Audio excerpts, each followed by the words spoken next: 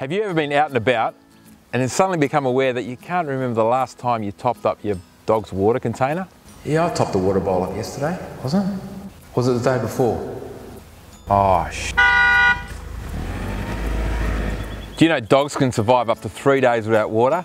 But there's a vast difference between surviving and being in good health. It is very easy to set up a permanent fresh water supply so you can leave your house confident that your dog will be well hydrated even on the hottest days. G'day, I'm Ben from Beautiful Plumbing. Now, I've always, I've always had dogs, always loved them. You know, they're my little fur babies. Now, I've had water bowls like ice cream containers or mixing bowls, but none of them have ever been permanent. That's when I found this great solution. It's an automatic dog bowl that refills automatically as your dog drinks it. It can be mounted on the wall of your house and it can be plumbed in with its own shut-off valve so you know that even on the hottest days, your dog will have enough water to drink. Like with any other containers, you still need to clean them out once, once in a while, but we've got a bung at the bottom of them, you just take it out, flush it, rub the sides, and um, yeah, all nice and clean.